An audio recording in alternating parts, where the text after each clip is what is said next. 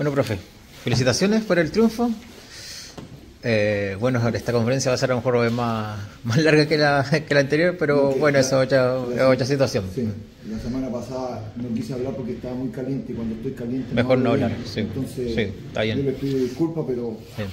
suele suceder de repente a un ser humano que puede hablar de cualquier mesera cuando no está bien. No, pero profe, eh, bueno, ahora el equipo clasificó a la a la final eh, de la zona sur y ¿cuál fue el mensaje que usted le dio a, a- a sus dirigidos de- entre el miércoles y digo, perdón, entre el domingo y, y hoy día para que pudieran eh, sacarse esa der- derrota que dio contra Sandino y afrontar este partido que bueno ya tenían 5-1 del, del partido de ida y, y poder aguantar? Mira, lo único que Y obtener dije la clasificación. Lo único que les dije es que tenían que aprovechar esta oportunidad porque el partido iba a ser televisado para todo el país eh, y los jugadores nuestros se quieren mostrar. Creo que hicimos un gran primer tiempo hoy día, un gran primer tiempo. Es más, yo diría que fue eh, incluso un poco injusto eh, el gol que nos hicieron y quedaron ellos arriba en el Pero marcador. sí fue una Pero sola bueno, pelota, el pero sí, sí, cosas. sí.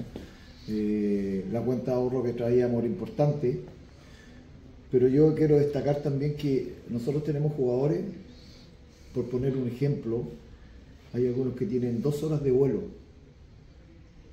o sea, la experiencia que tienen es mínima. Eh, si tomamos en cuenta eh, el Tibo Vázquez debe tener mil horas de vuelo, hay muchachos en el equipo que tienen dos horas de vuelo.